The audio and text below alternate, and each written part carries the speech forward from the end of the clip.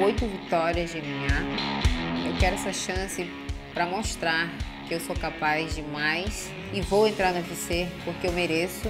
E não vou estar ali só para somar, vou ser a campeã da minha categoria e vou para balar. Meu nome é Stephanie Almeida, tenho 29 anos, sou natural de Manaus, Amazonas.